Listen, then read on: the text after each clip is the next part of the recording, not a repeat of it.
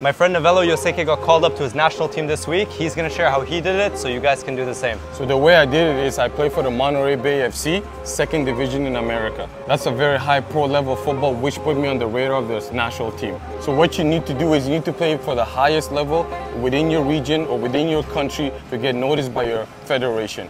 So highest pro level in their country or region and if they want to be proactive with it, what do they do? So to be proactive with it, reach out to one of your coaches within the federation to increase your chances of playing for the national team.